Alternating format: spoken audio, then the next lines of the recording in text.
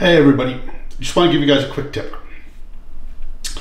Whoever flies a quad or anything with a GPS, like for instance this thing, you know how long it takes sometimes for those GPS, especially on this LR4, how long it could take to get some satellites, especially ready to fly.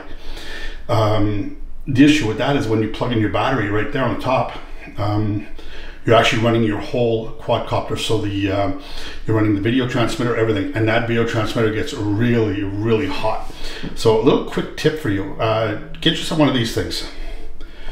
Basically, what this is, it's just from a, a car um, USB adapter for a charger. So what I did is I took one, took it apart, stuck an XT60 on the end of it, and then just uh, put um, just a little USB, this thing takes USB-C, so it's a USB-C connector on the end of it, just a little short cable. And what I do is before my flight, you plug in, so I'm not gonna, I'm one-handed right now, so I can't do it. So you plug in the USB, don't plug in the battery. Your radio, if you put on telemetry on the screen, like it's not on right now, but I have a telemetry screen, it'll tell you how many satellites you have. So when you hit your five satellites or six, whatever you have programmed in, I have five for mine, it'll tell you on screen and then you're ready to go. So all you do is you go up to your uh, quadcopter or aircraft, whatever you're being using. I use it on both of them the same way. You plug in your XT60 on the top and just unplug your USB cable and you're ready to fly. Everything stays cool that way. Everything works perfectly and uh, no damage to your uh, video transmitter, your very expensive video transmitter.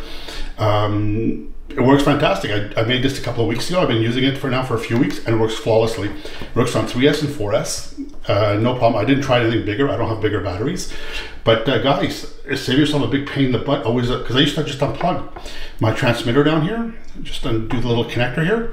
I would unplug that, but it becomes such a pain. These are very tiny wires, so you don't want to strip them or rip them out of the uh, the transmitter. So I just uh, did that, and that's a little trick I saw online. I don't know who told me, but you know what? It works great. And you have perfect connections every time. And it usually takes within three, four minutes it's a cold start. And you're up and flying. And that's it. And nothing gets hot. That's it, guys. I hope you enjoyed this. Take care. Bye for now.